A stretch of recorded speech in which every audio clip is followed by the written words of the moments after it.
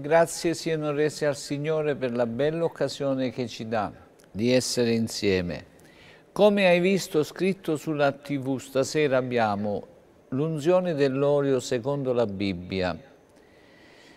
L'unzione dell'olio è un sacramento, è un ordinamento sacro. Dice secondo l'Antico Testamento e secondo il patto di Dio con noi esseri umani, nell'Antico patto c'era scritto io sono l'Eterno che ti guarisco, mentre nel Nuovo Testamento, nel Nuovo patto si è trasferito questo insegnamento, questo patto di come fare alcune cose. Ed è l'unzione dell'olio non è l'estrema unzione per spedire le persone all'altro mondo, no. L'estrema unzione non è questa, è la preghiera della fede salverà il malato. Lo leggiamo insieme così sappiamo la Bibbia cosa dice. Leggiamo insieme in Giacomo capitolo 5 dal verso 14. Dice così, leggiamolo, c'è qualcuno che è malato? Chiami gli anziani della Chiesa ed essi preghino per lui, ungendolo d'olio nel nome del Signore. C'è qualcuno che è malato? Chiami gli anziani della Chiesa ed essi preghino per lui, ungendolo d'olio nel nome del Signore. E il verso 15 dice cosa succede quando noi preghiamo con l'unzione dell'olio, la preghiera della fede, non l'olio né il rito, ma la preghiera che facciamo. La preghiera della fede salverà il malato e il Signore lo ristabilirà. E se egli ha commesso dei peccati gli saranno perdonati. Ecco, questo è il sacramento ordinato dal Signore basato sulla preghiera perché il gioco, l'unzione spezza il gioco, dice in Isaia capitolo 10 verso 27. Dice che quando c'è l'unzione si spezza il gioco della schiavitù, schiavi del peccato, come abbiamo visto veniamo salvati, schiavi dalla malattia, schiavi dai vizi, in quel giorno, questo giorno, adesso, mentre lo facciamo stasera, il suo carico ti cadrà dalle spalle e il suo gioco dal collo. Il gioco sarà scosso dalla tua forza rigogliosa. L'altra versione dice il gioco sarà spezzato dall'unzione che viene fatta. E questa eh, traduzione moderna, non so perché dice così, nulla di strano, però l'originale dice che il gioco viene spezzato quando c'è l'unzione.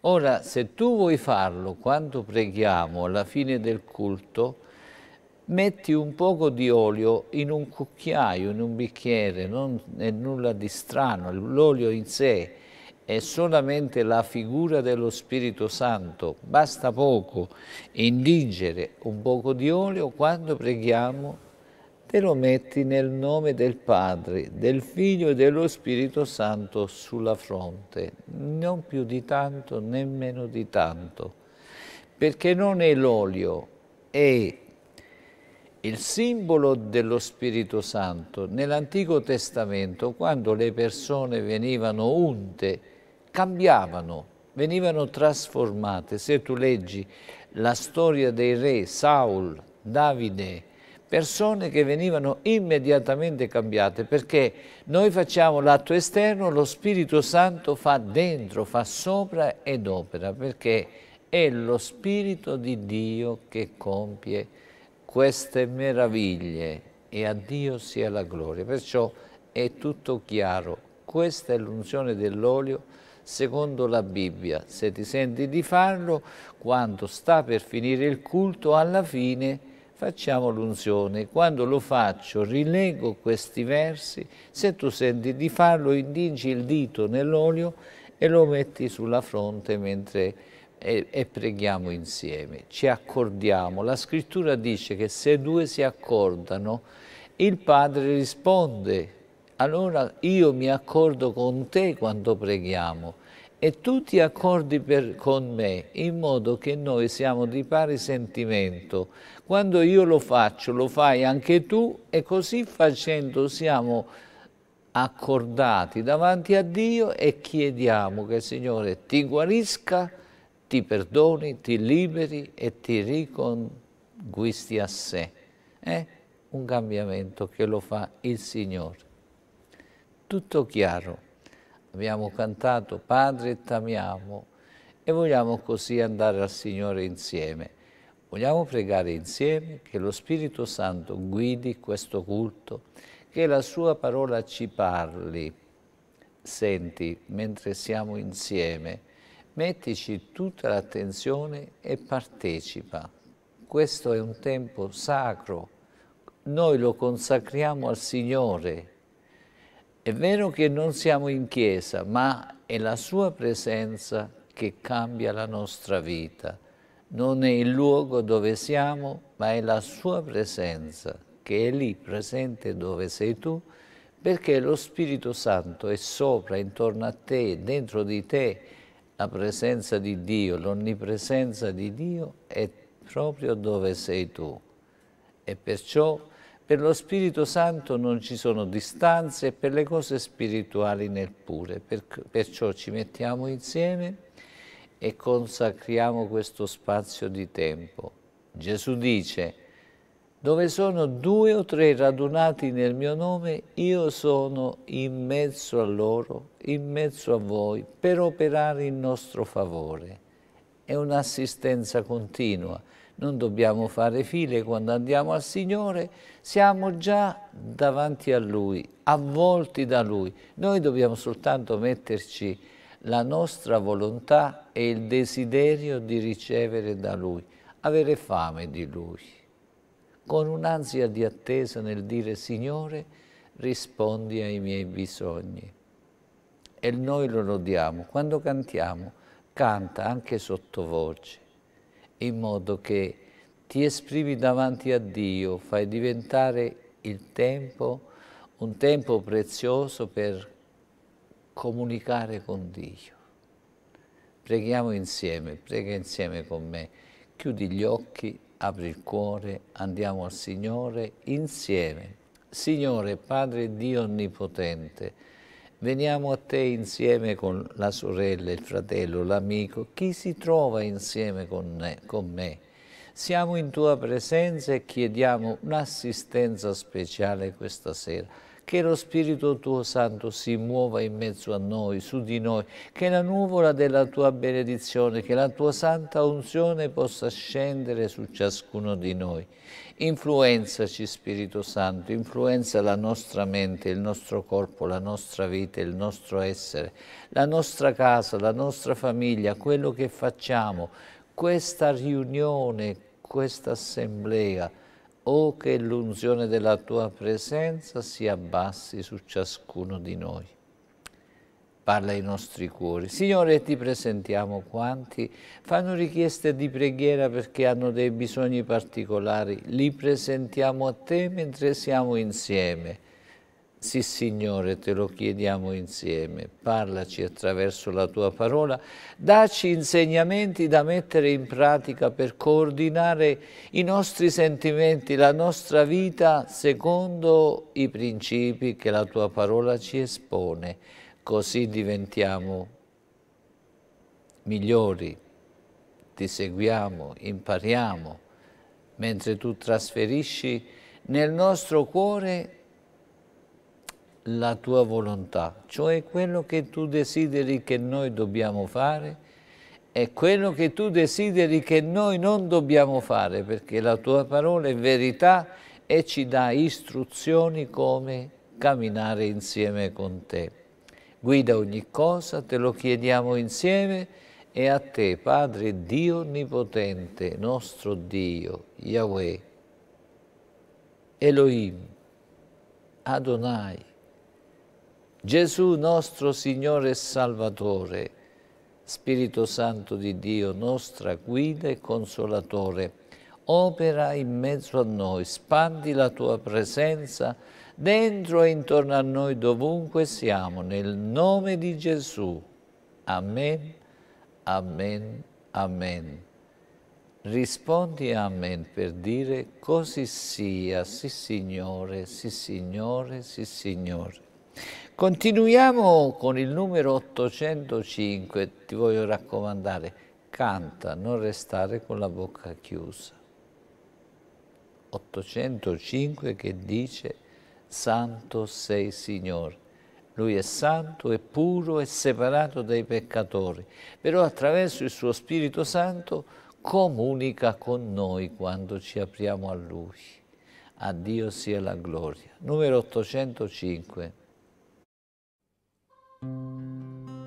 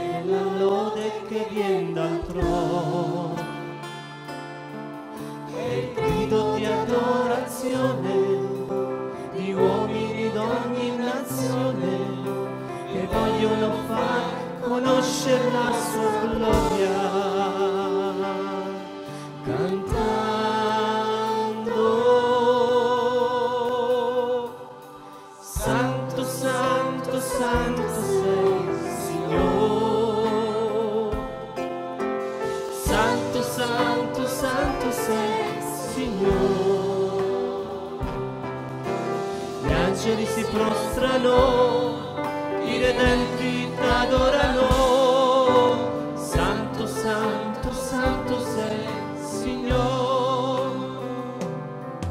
Voglio un celeste suono come quello di tante acque che sono nella lode che viene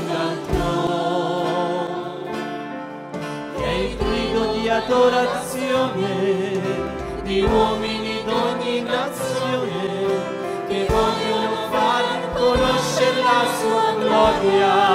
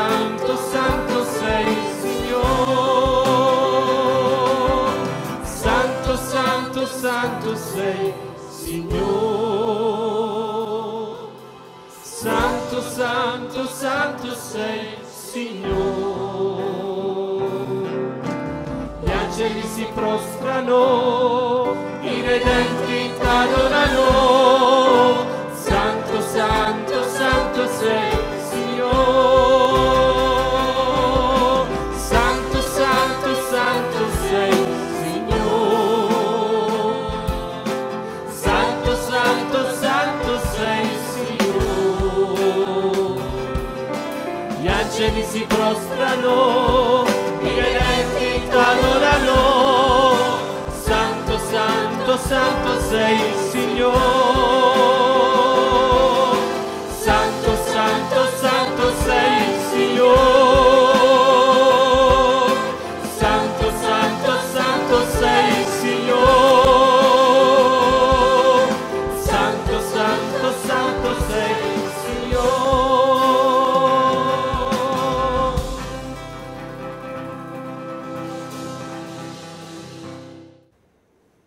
Vogliamo continuare con il numero 797 che dice Spirito Santo scendi su di noi, però cantiamolo, desideriamo questo Spirito Santo che ci influenzi in un modo speciale, ci investa, scenda su di noi. Cantiamolo insieme.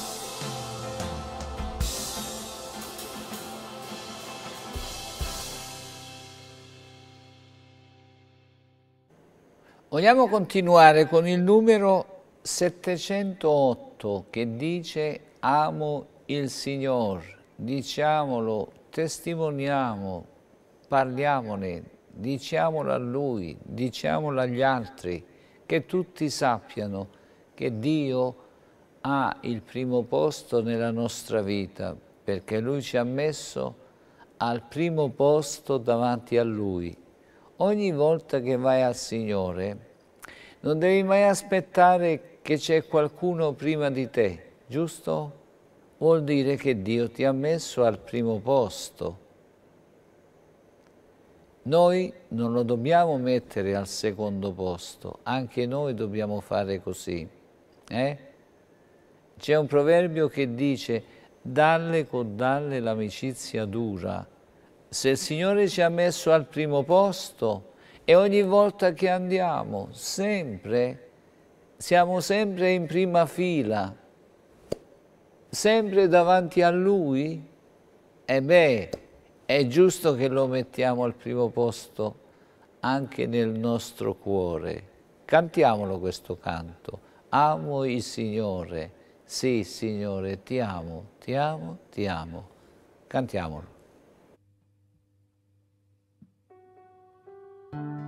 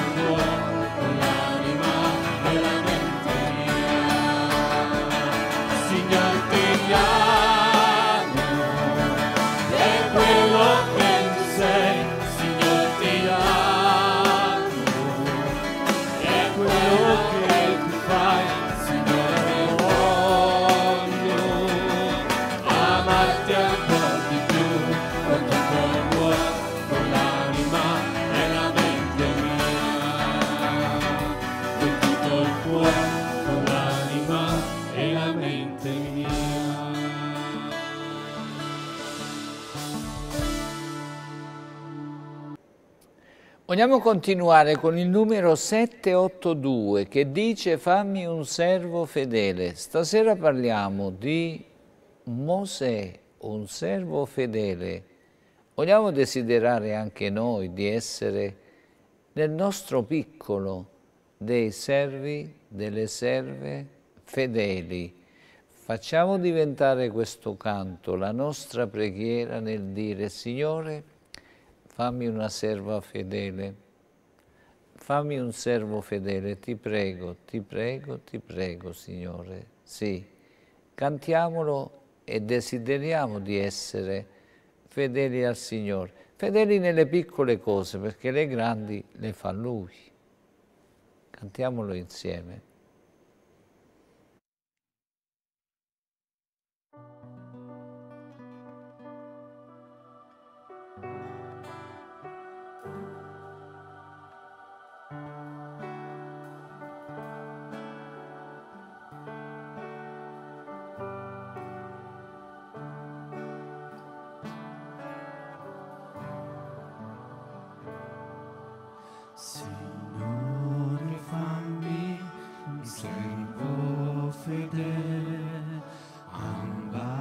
ambasciatore del Santo Evangelo.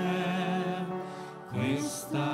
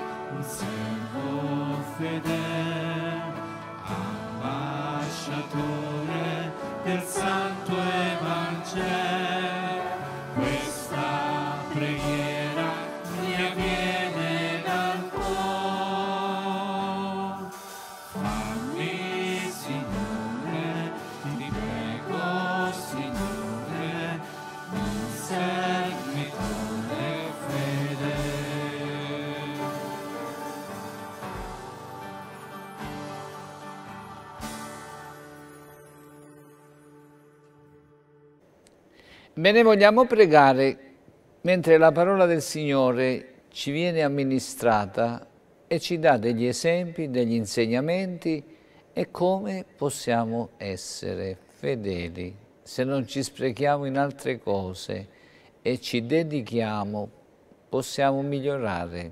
Dio lo vuole e noi lo dobbiamo fare. Preghiamo insieme. Chiudi gli occhi, apri il cuore e diciamo al Signore insieme, Signore, fa che la tua parola parli al mio cuore questa sera. Te lo chiediamo tutti insieme, Signore, sì sì, tutti nel nome di Gesù. Amen, amen, amen. Ebbene, leggiamo insieme in Numeri capitolo 12, verso 14. Dice così, il Signore rispose a Mosè, se suo padre le avesse sputato in viso, non ne porterebbe la vergogna per sette giorni? Stia dunque isolata fuori dall'accampamento sette giorni, poi vi sarà di nuovo ammessa. Questo è un caso particolare e quando Maria, sorella maggiore di Mosè, insieme con il fratello Aronne, sparlavano, criticavano, denigravano Mosè. Questo verso ci fa vedere quanto è grave il peccato del criticare gli altri, di metterci a denigrarli per essere noi più evidenziati, per schiacciare gli altri ed evidenziare noi stessi. È grave, tanto grave, perché Dio ci fa vedere cosa è successo a questa donna che in qualche modo Dio si era servita di lei. Si era servita di lei per guardare Mosè quando era vicino al fiume, si era servita di lei per fare da portavoce tra la figlia di Faraone e la mamma che fece da balia. Poi si era servita di lei anche per cantare insieme alle donne quando avevano attraversato il Mar Rosso. Era ogni tanto uno strumento usato dal Signore una credente diremmo come quelli di questi tempi. Non più nemmeno, perché molte volte il Signore si serve di credenti, di credenti femmine e di credenti maschi. Grazie a Dio per questo. Però il pericolo dov'è? È quando noi, per denigrare un altro, ed esporre noi stessi davanti a Dio, Dio non gradisce questa cosa. Rileggiamo questo verso così comprendiamo quanto è grave quando noi facciamo questo. Leggiamolo. Il Signore rispose a Mosè, se suo padre le avesse sputato in viso non ne porterebbe la vergogna per sette giorni. Stia dunque isolata fuori dall'accampamento sette giorni, poi vi sarà di nuovo ammessa. Il Signore ci fa vedere quando è grave il peccato di ostacolare o impicciarsi o criticare, denigrare gli altri ed impicciarsi nei fatti di altri e soprattutto dei suoi servi. Dei suoi servi pubblicamente. Signore aiutaci questa sera. Lo aveva fatto così lei e così fu fatto a lei, molto più grave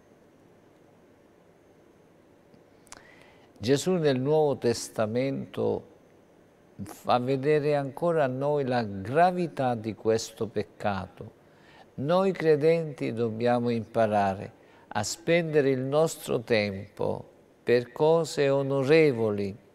Se avete una parola buona, ditela, dice il Signore nella sua parola. Se dobbiamo usare la nostra bocca per altre cose, ci mettiamo in pericolo. Non ci entrare mai, sorella. Fratello, non entrare in quel reparto. Il Signore, vuole, il Signore si vuole servire di te, ma devi sapere che Satana si vuole anche servire di te. Dipende tu chi vuoi servire. Se ubbidisci al Signore, vuol dire che vuoi obbedire al Signore. Se invece ti lasci andare, Satana subito ti attracca e ti fa fare che vuole lui. Gesù a questo riguardo in Matteo capitolo 7 verso 2 dice così, leggiamo.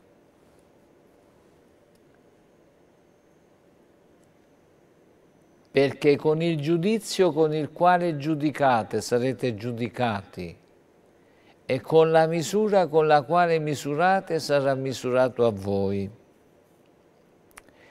Non tutti i giudizi sono uguali ci sono delle cose che servono per fare una scelta, per comprendere la differenza che passa tra una cosa e l'altra. Se leggiamo nello stesso capitolo, nel verso 16, parla anche lì di giudizio, ma guardiamolo. Verso 16 dice così,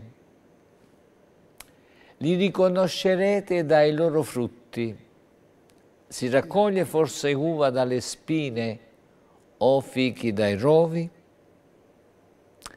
Qui è un giudizio lo stesso, ma questo è un test, cioè in parole diverse, per identificare un falso profeta, un falso apostolo, è impossibile che una falsa dottrina generi buoni frutti, mai. Allora questo tipo di giudizio ci serve per comprendere il buono dal cattivo. Perché noi lungo il percorso del nostro cammino possiamo a volte essere distratti dalle circostanze che ci circondano. Per esempio, il grande leader di musica del coro nel Tempio del Signore, che scrisse il Salmo 73, leggiamo nel verso 16, aveva qualche difficoltà quest'uomo. Ho voluto riflettere per comprendere questo, ma la cosa mi è parsa molto ardua dice qui nei versi precedenti, lo dico io perché così comprendiamo, lui dice guarda quasi sdrucciolavo con un pensiero, mi portava fuori strada, mi stava facendo cadere nel pensare che i malvagi progrediscono e io che mi consacro no. E quasi questo pensiero mi portava a dire ma allora che ti consacri a fare? Ecco, abbiamo bisogno delle valutazioni e ci serve. E fare un tipo di giudizio è giusto per fare la scelta. Ma prima di scegliere ha voluto riflettere. Quando si è trovato nella casa del Signore, ragiona diversamente. Leggiamo il verso 16.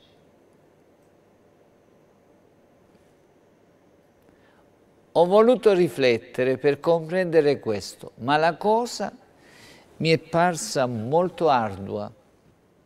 Allora, quando è entrato nell'ottica divina, le cose sono cambiate. Ha dovuto giudicare la scelta che doveva fare. Ecco, questo è buono, perché se leggiamo dal verso 17 al verso 20, questo test lo ha aiutato a fare la giusta scelta. Allora questo è un giudizio che ci aiuta a migliorare. Leggiamolo insieme. Finché non sono entrato nel santuario di Dio e non ho considerato la fine di costoro. Certo li metti in luoghi strucciolevoli, li fai cadere in rovina. Come sono distrutti in un momento, portati via, consumati in circostanze orribili come avviene ad un sogno quando uno si sveglia, così tu, Signore, quando ti desterai, disprezzerai la loro vana apparenza. Ecco, allora, se torniamo un attimo al capitolo 7 di Matteo nel verso 16, troviamo che dobbiamo comprendere da valutare le cose, li conoscerete dai loro frutti, e dice, si raccoglie forse uva dalle spine o fighi dai rovi? Qui è un test per identificare i falsi profeti, i falsi apostoli, i falsi predicatori, perché una falsa dottrina non regge. Da un momento all'altro non ci sarà più né il predicatore né l'opera che ha compiuto, perché Dio non benedice le cose false. E allora i test bisogna farli, ma nel senso positivo, non nel senso negativo. Gesù dice di non giudicare, ma di usare il discernimento secondo Dio, cioè il discernimento morale per essere dei buoni cristiani. Gesù in Giovanni capitolo 7 verso 24 ci dà degli insegnamenti meravigliosi. Noi dobbiamo applicarli nella nostra vita. Giovanni 7,24 dice non giudicate secondo l'apparenza, ma giudicate secondo Dio, cioè non lo dobbiamo usare per pervertire i principi divini, il nostro giudizio, per il proprio piacere di infancare il prossimo, il fratello, la sorella e tantomeno i servi del Signore per sopraelevare noi stessi. Gesù quando parla di questo in Matteo capitolo 7 verso 1, leggiamolo insieme, mette ogni cosa al posto giusto, non giudicate affinché non siate giudicati. Quando tu leggi la parola del Signore e leggi un poco prima e leggi un poco dopo, ti accorgi che ogni verso è così ben incastrato al posto giusto che tu non ne hai idea, perché è parola di Dio. Perché si trova questo verso 1? Perché quando è stato scritto il Vangelo non c'erano i versi, dopo è stato scritto i versi, però era continuo, è stato messo lì perché viene fuori da un argomento che non riusciamo a leggere tutto. L'argomento che Gesù stava facendo parte dal verso 25 del capitolo 6 e vogliamo leggerlo, così comprendiamo perché Gesù dice non giudicate. Leggiamolo insieme. Capitolo 6, verso 25 e 26. Perciò vi dico non siate in ansia per la vostra vita, di che cosa mangerete o di che, vi, che cosa berrete, né per il vostro corpo, di che vi vestirete, non è la vita più del nutrimento e il corpo più del vestito. Guardate gli uccelli del cielo, non seminano, non mietono, non raccolgono in grandi granai, e il Padre vostro celeste li nutre. Non valete voi molto più di loro?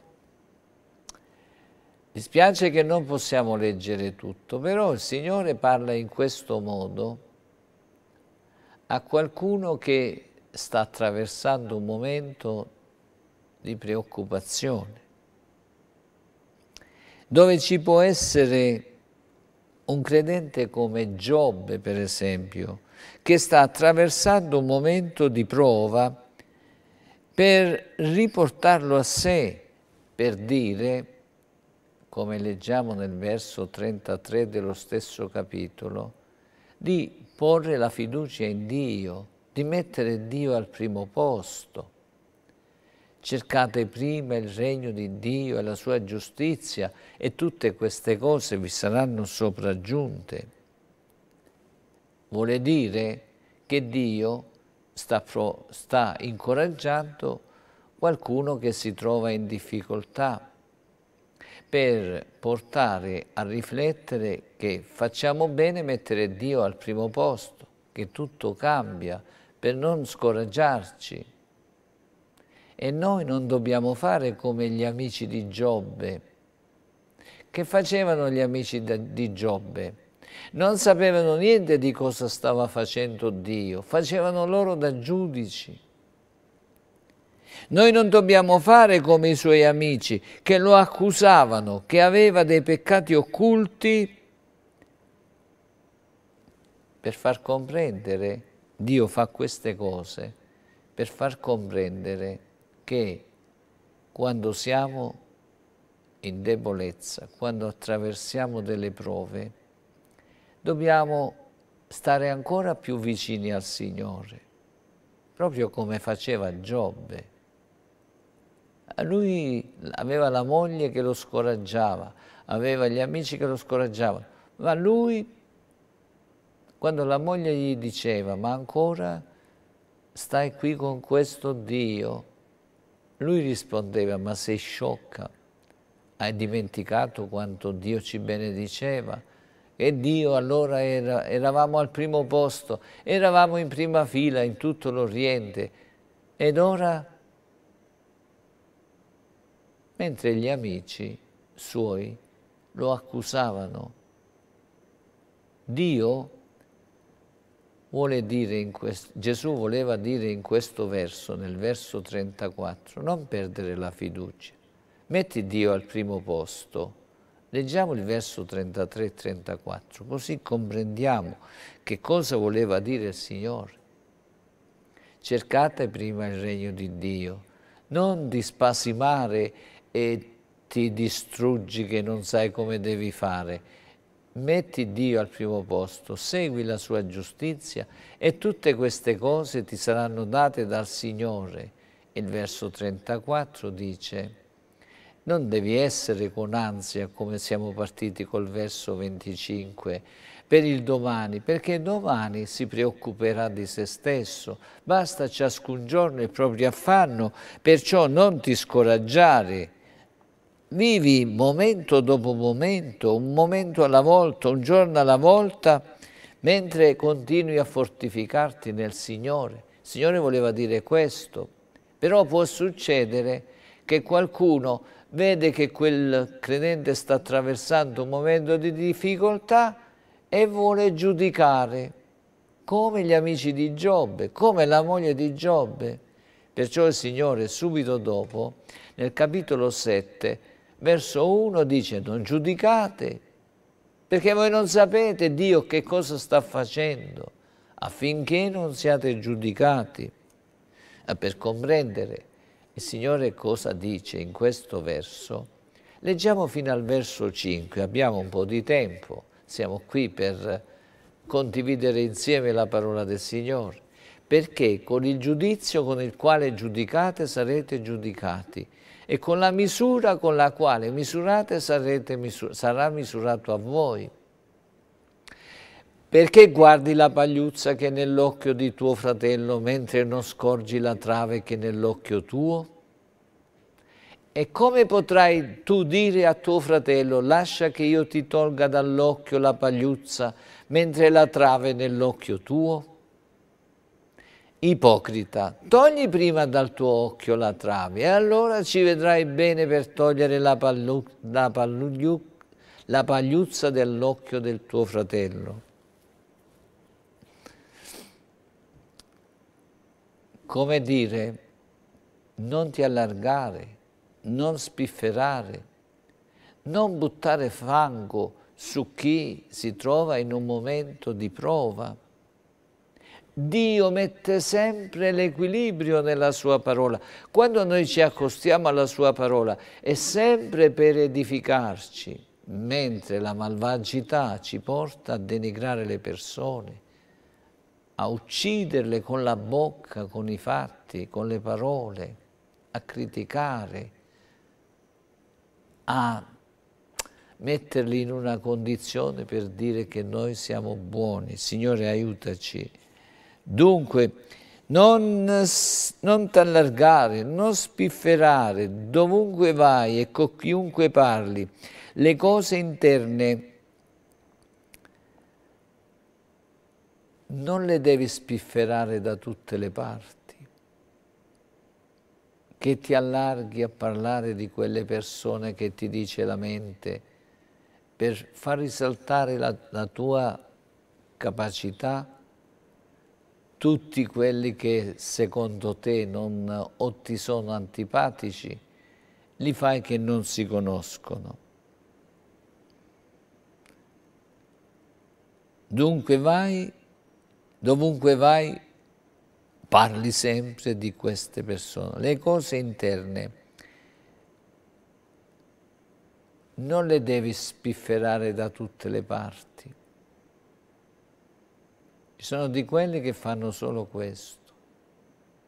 E infatti il Signore Gesù nel verso 6 dice le cose interne della Chiesa tra fratelli, come era Mosè con Maria, con Aronne, il fatto che a, lui, a loro non gradiva che si era sposato con eh, la sua moglie, se lo dovevano tenere in casa, mentre Miriam spifferava da tutte le parti.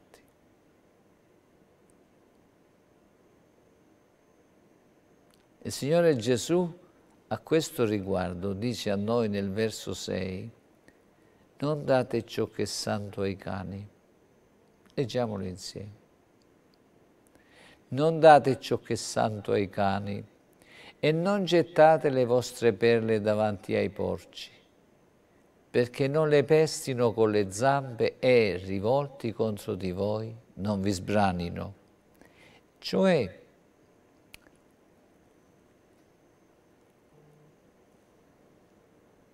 se Miriam non gli piaceva la moglie di Mosè, ne parlava con Mosè dicendo Non mi piace proprio sta donna. Questa è un etiope, ha la pelle scura, è di bassa cultura. Tu sei acculturato, hai una conoscenza straordinaria. Non ti si addice proprio avere una moglie così. Ma te l'hai presa, ti è piaciuta.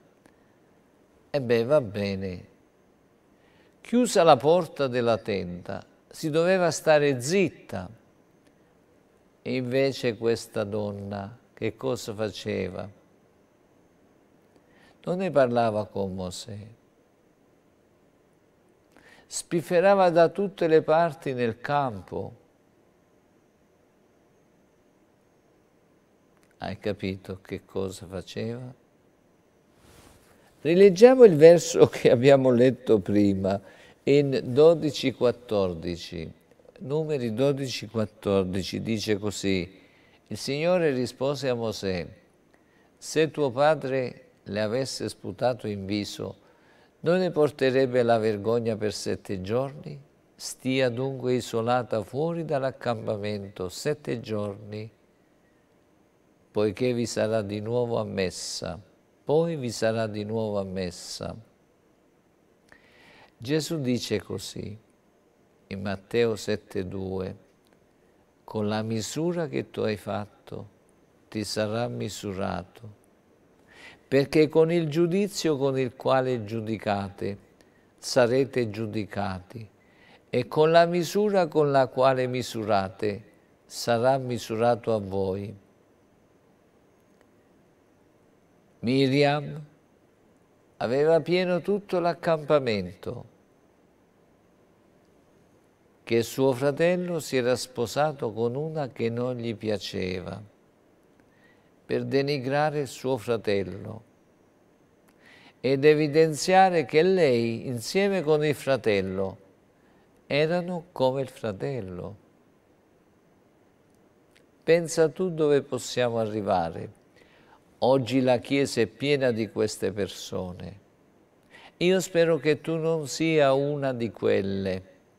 Io spero che tu non sia uno di quelli, perché se è così puoi essere anche pastore, chi sei tu non ha importanza. Stai attento che Dio ti sta parlando.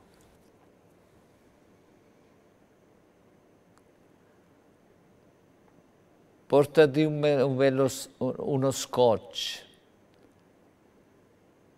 portati qualche cosa e chiudi la bocca, fai come il salmista. Il salmista diceva, oh Dio, io ho messo un freno alla mia bocca per non peccare contro di te perché era un uomo che si voleva santificare. Sorella, stasera il Signore ti sta parlando. Fratello, il Signore ti sta parlando. Aiutaci, Signore. Può esserci nella Chiesa qualcosa, ma certo, i problemi ci sono sempre. Ma attenzione, Gesù ci dice tutto come dobbiamo fare.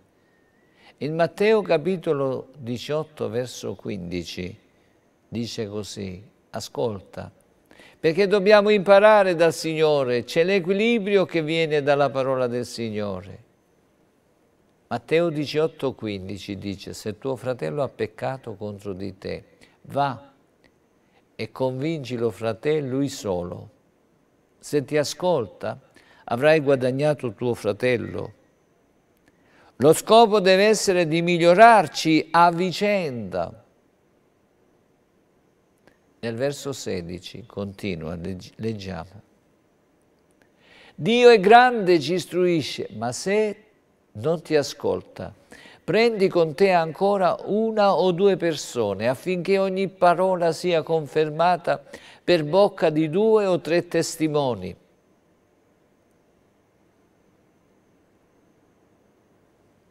se non ti ascolta, dillo alla Chiesa, non lo mettere ai cani e ai porci, non lo dare in bocca ai cani e ai porci che lo portano in tutto il territorio. Leggiamo il verso 17.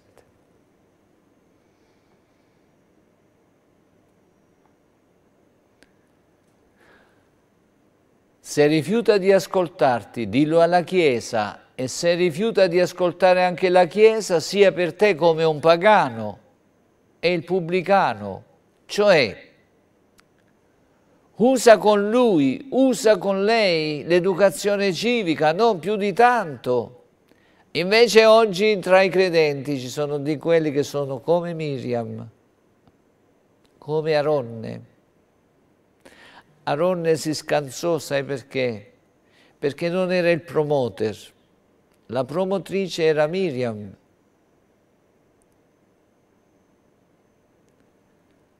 Lei non solo non gli piaceva la moglie di, di Mosè, perché aveva il colore, non era di alta cultura, era un etiope che si trovavano in quelle zone. Signore aiutaci. Dillo alla Chiesa per, pregar, per pregare e fargli capire che non ha ragione, ma deve essere fatto nell'ambito della stessa famiglia o della stessa Chiesa. Ma oggi abbiamo dei banditori da tutte le parti e delle banditrici che sanno rilasciare fango da tutte le parti. Attenzione perché con il giudizio con il quale giudicate sarete giudicati e con la misura con la quale misurate sarà misurato a voi. La Bibbia è chiara. Torniamo a cosa faceva Miriam con il suo fratello. Questi sono insegnamenti meravigliosi, tieni conto di quello che stiamo leggendo perché il Signore te ne, te ne chiederà conto. Banditrice, banditore, strumento nelle mani di Satana, fermati. Leggiamo insieme. Numeri 12.1.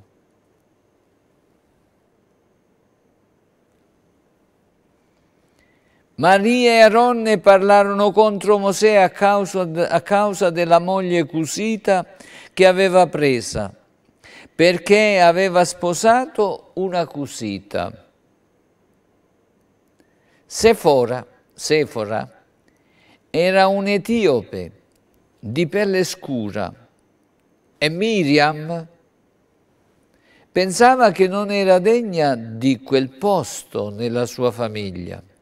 Lei, la capobanda, non digeriva Sefora. Satana usava Miriam e lei riscaldava Aronne attizzava il fuoco e spifferavano in tutto il campo contro Mosè.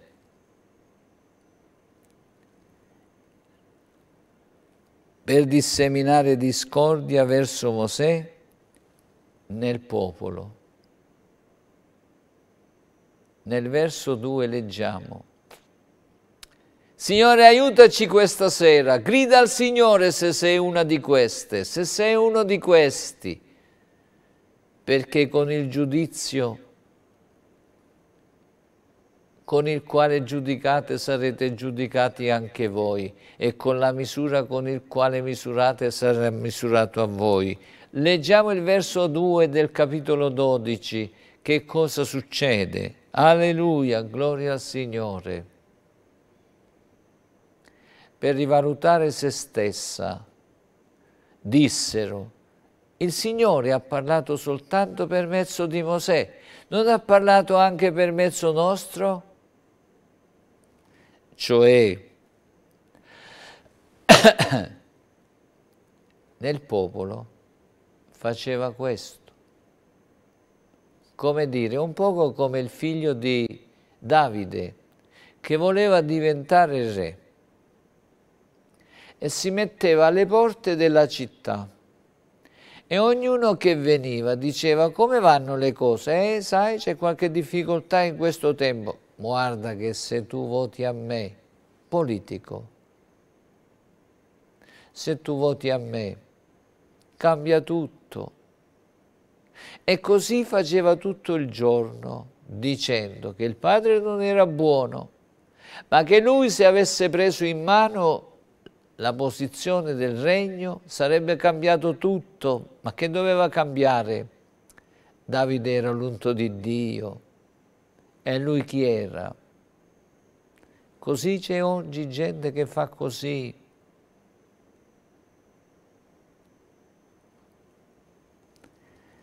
Facevano capire che il loro punto di vista era addirittura Dio che lo diceva, cioè in questo verso fanno capire, fa capire Miriam che noi siamo strumenti nelle mani di Dio. Dio si è servito di me, di te, Aronne.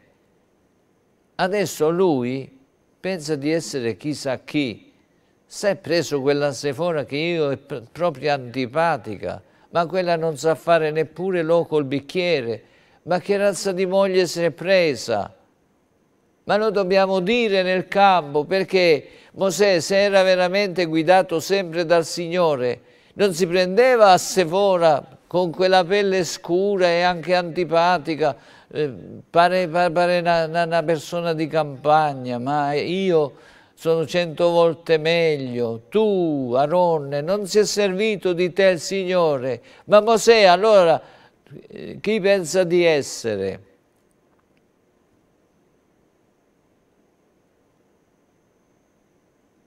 Ce ne sono tanti adesso di Miriam in giro e di Aronne che sotto sotto pastori, pastorini, pastorelle e quanti più ce ne sono. State attenti perché Dio vi sta parlando.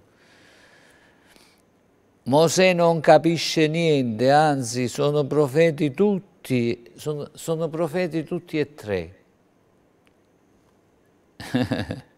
per screditare Mosè, Satana aveva imbastito un bel vestito, ma non era così. Lo dicevano loro, ma Dio non vedeva allo stesso modo. Nel capitolo precedente ci sono dei fatti che non sono uguali a quelli che dice Miriam. Nel capitolo 11, verso 16. Chissà Miriam dove dormiva. Leggiamolo insieme. Il Signore disse a Mosè, radunami settanta fra gli anziani di Israele conosciuti da te come anziani del popolo e come persone autorevoli. Conducili alla tenda di convegno e vi si presentino con te. Oh, alleluia! Fu grazie allo Spirito Santo che Mosè era guidato ed era in continua comunione con lo Spirito di Dio. Nel verso 17 leggiamo tutto fa brodo, si dice oggi. Io scenderò e lì parlerò con te, prenderò lo spirito che è su di te, lo metterò su di loro perché portino con te il carico del popolo e tu non lo porti più da solo. Lo Spirito Santo che Mosè riuscì a guidare Israele per mezzo di Mosè nel, verso 25 dello stesso capitolo, se no come li portava 3 milioni di persone? Invece che cosa pensava Miriam? Che cosa macchinava con, con eh, Mosè?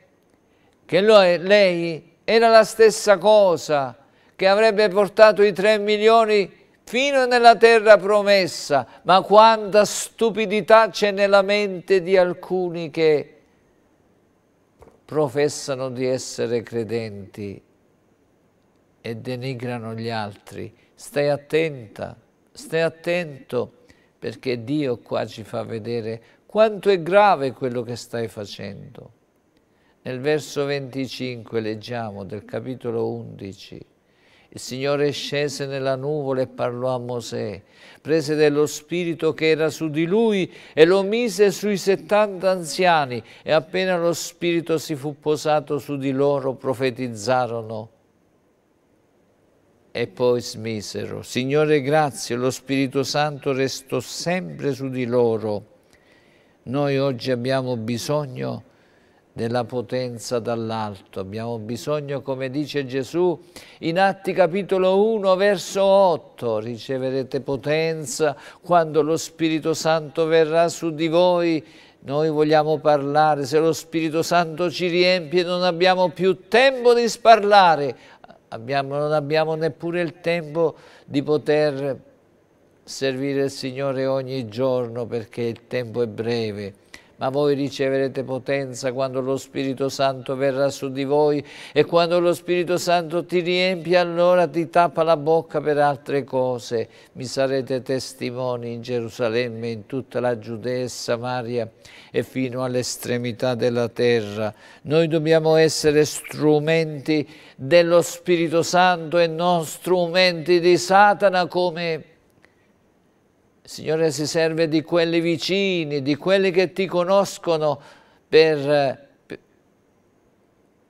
Satana si serve di quelli che sono vicini. Di chi, si per, di chi si serviva Satana per scoraggiare Giobbe? Della moglie. Ancora stai lì con quel Dio, rinnegalo e muori. Di chi si serviva Satana per scoraggiare a Giobbe? Degli amici. Non può essere che tu ami Dio e stai in quelle condizioni. Non può essere. Tu qualche cosa hai fatto, hai dei peccati nascosti che devi confessare, saranno le maledizioni dei, dei tuoi avi, saranno, eh, sarà questo, sarà quello. Perciò il Signore Gesù dice, Matteo 7,1, leggiamolo per amore del Signore che il Signore stasera sta parlando a qualche cuore che si vuole ravvedere. Ti devi ravvedere questa sera stessa. Non giudicate affinché non siate giudicati. Il verso 2 dice, leggiamo insieme, perché la scrittura ci aiuta, perché con il giudizio con il quale giudicate sarete giudicate voi e con la misura con la quale misurate sarà misurato a voi. Noi dobbiamo essere strumenti dello Spirito Santo, non strumenti di Satana, per eh, far vedere che noi siamo qualcuno. Nel capitolo 12 dei numeri, nel verso 3, guardiamo quest'uomo che sta lì, Mosè. Mosè mi piace. Or Mosè era un uomo molto umile, più di ogni altro uomo sulla faccia della terra. Qui è scritto perché? Perché Mosè non provocava la polemica con Miriam e Aronne.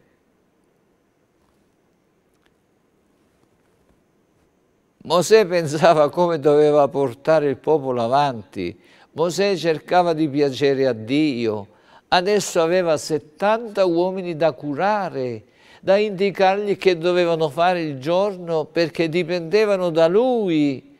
E Miriam e Mosè spifferavano, in, Miriam e Aronne spifferavano da tutte le parti. Oh quanti ce ne sono oggi che perdono il tempo e sono strumenti di Satana nelle mani, del, nelle mani di Satana. Ravvediti perché il Signore questa sera attraverso questo messaggio ti sta parlando. Fai come il salmista. Ho messo un freno alla mia bocca per non peccare contro di te, perché lui era un uomo unto e sapeva che avrebbe peccato se non si lasciava guidare dallo Spirito Santo. Guardiamo nel verso 4 cosa succede sorpresa delle sorprese. Il Signore disse a un tratto a Mosè e ad Aronne e a Miriam, uscite voi tre e andate alla tenda di convegno. Uscirono tutti e tre. Quando uscirono, il Signore non uscì per benedirli, avevano dei conti sospesi. Perciò ti devi ravvedere stasera. Pastore, chiunque tu sia, ti devi ravvedere. Credente, mezza credente. Ravvediti. Il Signore disse, venite tutti e tre, che vi devo parlare. non uscì per benedirli. Lei aveva un conto sospeso Leggiamo nel verso 15. Miriam dunque fu isolata fuori dall'accampamento sette giorni. Non abbiamo il tempo di leggere che Mosè pregò per lei e così via. E il popolo non si mise in cammino finché Miriam non fu riammessa nell'accampamento. Quando il popolo chiedeva ma come mai non avanziamo? La voce era in tutto l'accampamento, in 3 milioni di persone. Sai perché non camminiamo? Perché Miriam, la sorella di Mosè, ha criticato, ha spifferato, ha denigrato Mosè suo fratello. E il Signore l'ha fatta diventare lebrosa ed è adesso in attesa dei sette giorni che ha detto Dio perché Mosè ha pregato,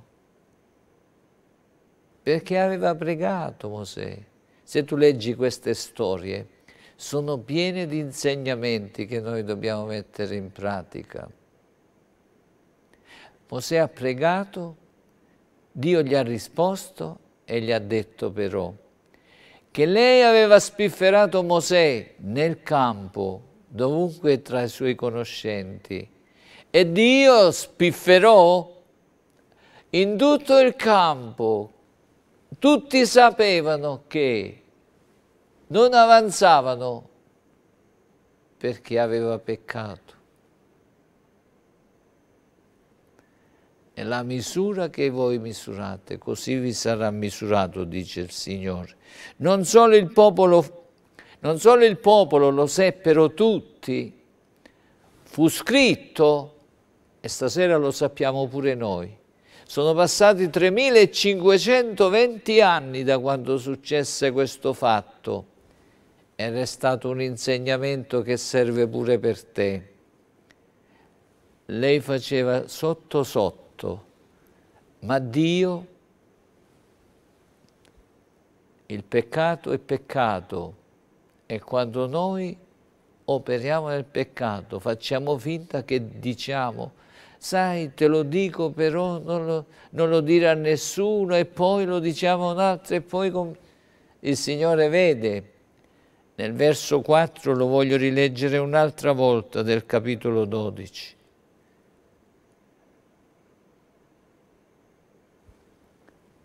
Il Signore disse a un tratto a Mosè, a Ronne e a Miria, uscite voi tre e andate alla tenda di convegno. Uscirono tutti e tre. non solo il popolo fu scritto, fu scritto e lo sappiamo pure noi, e sappiamo anche di Mosè. Cosa sappiamo di Mosè? Leggiamo nel verso 3 del capitolo 12. Signore, facci, un ser facci servi fedeli. Or Mosè era un uomo molto umile, più di ogni altro uomo sulla faccia della terra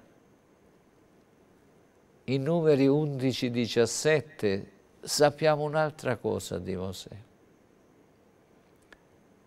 Io scenderò lì, parlerò con te, prenderò lo spirito che su di te lo metterò su di loro, perché portino con te il carico del popolo e tu non lo porti più da solo. Stiamo pregando che il Signore chiami uomini e donne per portare avanti questa opera. A questo ci dobbiamo preoccupare, per portare avanti l'opera che il Signore ci ha affidato.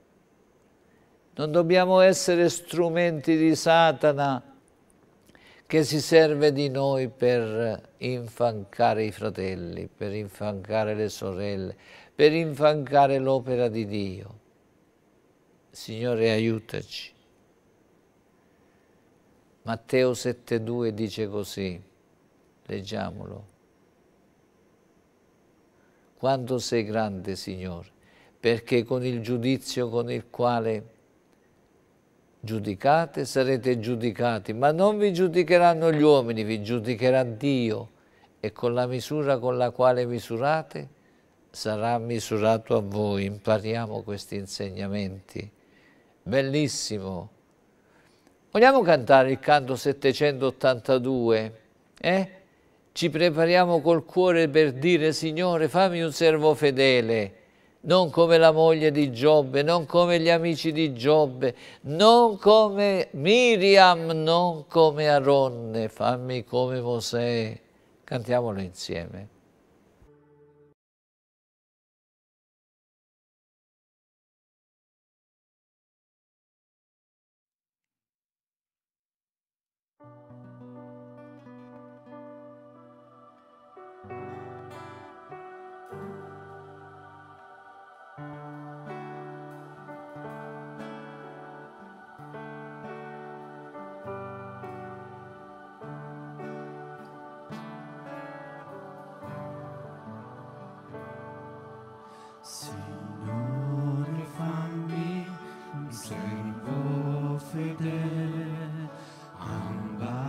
Ambasciatore del Santo Evangelo,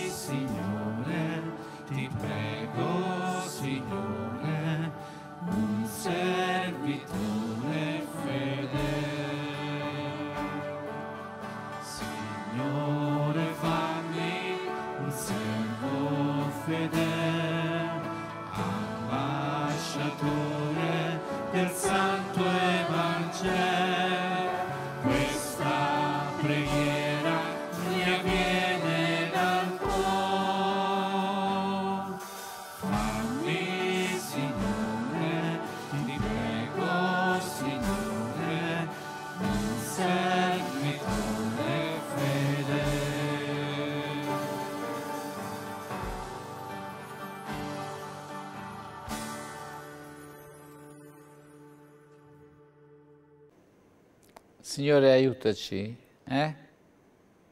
Ed ora facciamo diventare questo canto la nostra preghiera. Vogliamo fare l'unzione dell'olio. Preparati se lo devi fare, preparati l'olio. Leggiamo per che cosa serve e poi preghiamo il Signore. Signore aiutaci. Preparati una goccia d'olio pochissimo quando indigi soltanto il dito e te la metti sulla fronte quando leggiamo la parola del Signore, va bene? Preghiamo, eh, leggiamo insieme. In, eh, questo è un sacramento, è un ordinamento sacro, ci dice cosa dobbiamo fare e che risultati abbiamo. È parola di Dio, quello che dice Dio, Dio onora la sua parola non dipende dalle nostre bravure, meno, sì, più, meno, è per la fede nella sua parola. Lo Spirito Santo agisce perché onora la parola che lui stesso ha ispirato ed è scritta. Lui feconda la parola di Dio producendo segni, prodigi e miracoli quando noi crediamo nella sua parola. Leggiamo Giacomo 5, 14. C'è qualcuno che è malato? Chiami gli anziani della Chiesa ed essi preghino per lui, ungendolo d'olio nel nome del Signore. Allora abbiamo capito. Prendi l'olio, no scusami, prendi l'olio. Preghiamo il Signore. Prega insieme con me. Signore Padre Dio, nel nome di Gesù Cristo, secondo la tua parola, noi facciamo l'unzione dell'olio nel nome di Gesù.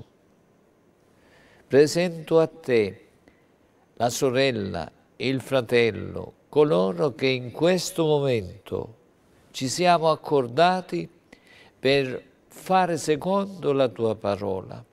Nel nome di Gesù, Signore, noi sappiamo che la tua parola è verità, che tu sei fedele e ti vogliamo ringraziare. Amen. Amen. Amen. Leggiamo il verso 15. La preghiera della fede salverà il malato e il Signore ti ristabilirà e se hai commesso dei peccati ti saranno perdonati. Questo dice la scrittura, questo dice la parola di Dio, questo è l'ordinamento di Dio, questo è il sacramento di Dio. c'è un altro passo importante che devi fare. Leggiamo il 17.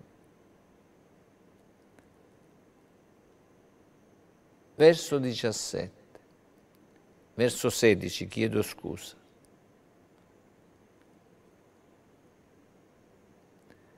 Confessate dunque i vostri peccati gli uni agli altri. Se hai delle pendenze presso i fratelli, digli che ti perdoni e perdona loro. Pregate gli uni per gli altri affinché siate guariti. È giusto che noi intercediamo per i fratelli, per le sorelle. Fatto in questo modo, Dio, il Signore, ci giustifica, non siamo giusti per noi, ma il Signore ci giustifica. La tua preghiera, fatta secondo la Scrittura, con la fede in colui che ci giustifica, ha grande efficacia davanti a Dio. Ringraziamo il Signore. Signore, ti ringraziamo che tu sei fedele Sappiamo, Signore, che tu operi sulla base della tua parola. Tutti insieme ti ringraziamo. Dio Padre Onnipotente, nel nome di Gesù. Amen, amen, amen. C'è un bel canto che vogliamo cantare insieme, il numero 719, che dice l'unzione scende su noi. Cantiamolo insieme. A Dio sia la gloria.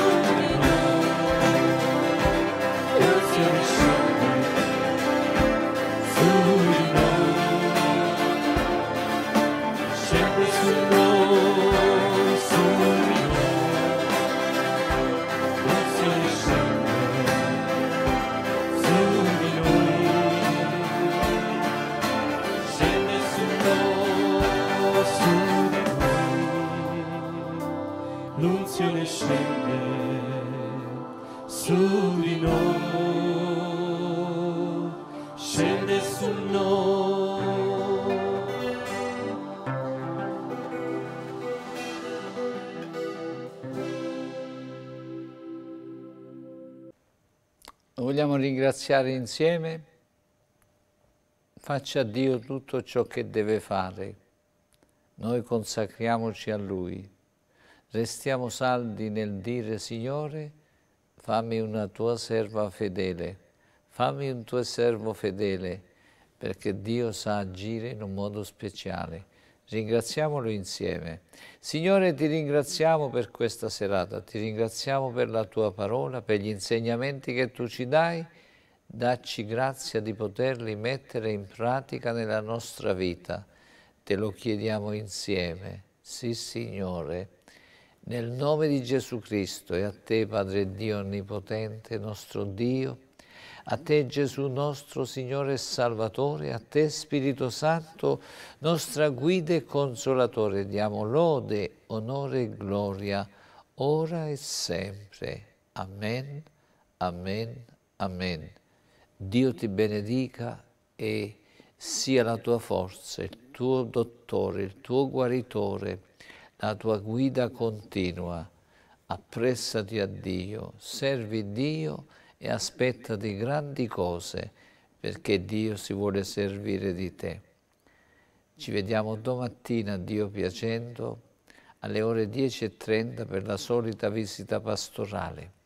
Prendi nota dove abbiamo letto se ci sono dei versi che ti hanno parlato, vai a leggerli, fai una foto sulla televisione, così vai a cercare quei versi, vedrai come lo Spirito Santo ti nutre, ti guida e ti dà una ricchezza interiore. Sia dunque isolata per sette giorni. Numeri 12-14, Matteo 7-2, 7-16, Salmo 73, 16 a 20. Giovanni 7, 24, Matteo 7, 1, 6, 25 e 26, 6, 33, 34, 7, 1 a 6. Matteo 18, 15 a 17, numeri 12, 1 e 2, 11, 16 e 17, 11, 25. Atti 1, 8, numeri 12, 3, 4, numeri 12, 15.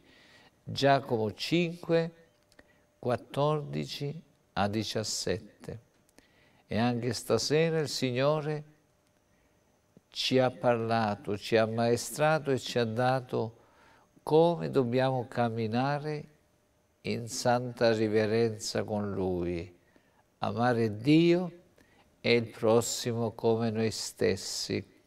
Ciò che non vuoi che ti sia fatto, non farlo tu agli altri. E ciò che tu vuoi, queste sono le formule di Gesù, ciò che vuoi che ti sia fatto, fallo tu prima a loro, a lui, a lei. Ciò che tu non vuoi che sia fatto a te, non lo fare agli altri. Questo vuol dire ama il prossimo come te stesso e soprattutto le persone che tu conosci. Dio si vuole servire di te, non far sì che il diavolo si serva di te, perché quando il diavolo si serve di te, Dio non ti può benedire. Sii ubbidiente a Dio. Pace buonanotte, a domani mattina. Grazie alla regia.